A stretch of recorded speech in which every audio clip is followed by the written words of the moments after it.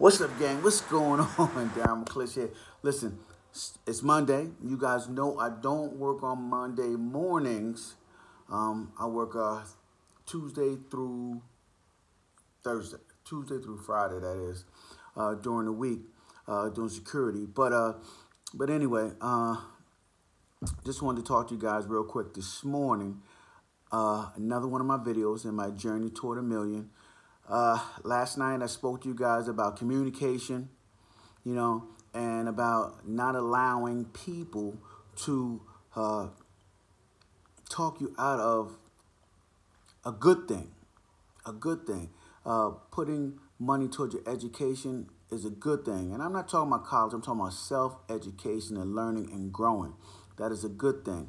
So um, I told you guys about that last night.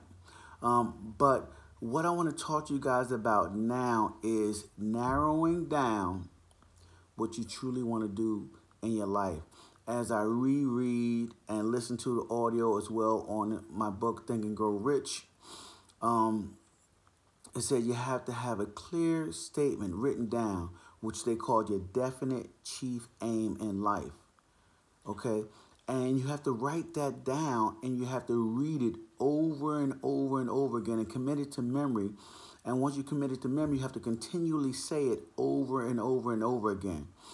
Such as the self-confidence formula that I wrote down that I to you guys about the other day from the, also the book Think and Grow Rich. Um, I read it about two, three times a day out loud. It says that you're supposed to read it at least once a day. Listen, if your self-confidence is in the trash, okay, um, and right now, when it becomes comes to becoming a millionaire, I know I can do it, but my self-confidence is still not there on certain tasks and things that I need to do to become a millionaire. So um, I'm kind of like you know, dragging my feet on certain things that I need to do. And I need to have more energy to put toward what I'm tackling. And, and that is clearly and clearly important.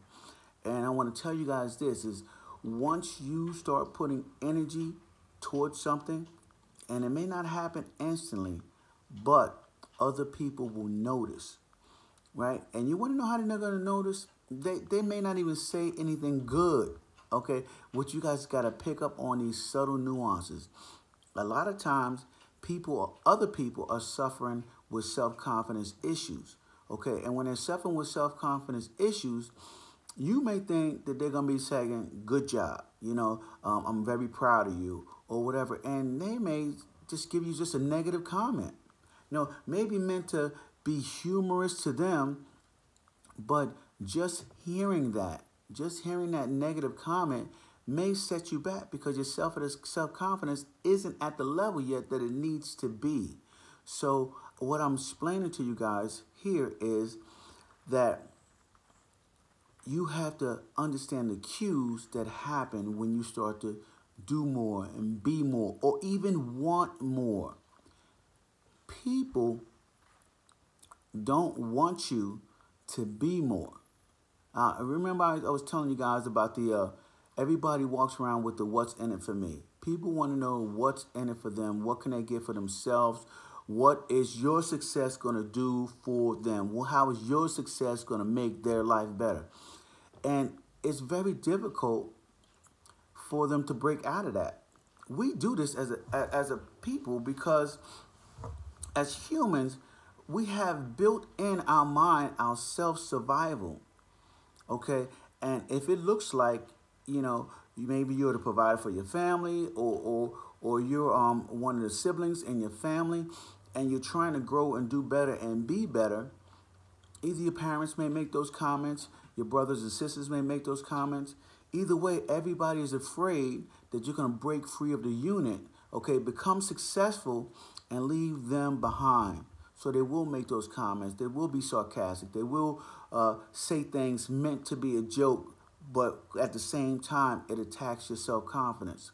So I want you guys to not only um, kind of like not always talk to, you know, everybody about your goals and things that you're doing. Um, but uh, just put your head down and do it. Even sometimes your loved ones, man, you can't you can't tell them what you're doing because they get afraid. they get afraid and their little comment may throw you off. So listen, you guys gonna have to do a lot of work in silence. You know, me, I do a daily affirmations where I speak in the mirror every day of the things that I want to do, who I want to be, the person I need to become, and it's all for my family. But my family looks at me like I'm crazy. They're like, Dad's out of his mind. Or my wife's like, this man has lost it. He's doing all these affirmations, listening to all this money, stick to me like honey. You know, all of these things talking. He's reading Think and Grow Rich again for the fifth time, and he's still not rich. What is going on? He's still got two jobs. He's still working. He's still got credit card debt. We got these kids in college. We got all the student loan. What are we going to do? Well, I tell you what Daryl McClish is going to do. Daryl McClish is going to stay fast in my direction, and, and I'm going to seek counsel from people who have already achieved what I want to achieve. All right? That is what I'm going to do. Okay? I'm going to become more focused. I'm to become more disciplined. Okay? And, and I, I'm to develop as Charlie Munger says, the assiduity of sitting on my ass and getting the work done. Come on, guys. You know what it is. You got to get the work done, man. You can't talk, talk, talk about becoming a millionaire, you know, making $5,000 a day, making six figures a month, being a multimillionaire. You can't talk all of that talk, all right, and want it to happen for yourself and not do the work. You know, as the Bible says, faith without works is dead. And that's not what you guys want for yourself, man. So listen, as I finish up and talk to you today, because I have work to do, I personally have to write 12 chapters this week for my book to get back on pace for my April 1st uh, completion date. So um, I got blocks that I set up you know, in my journal of writing blocks, two hour writing blocks. Then I break off and I do some push ups or whatever. Um, drink some coffee, drink some uh, mineral water, whatever I'm doing.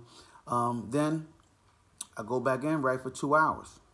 After that, I go to lunch, eat lunch, come back.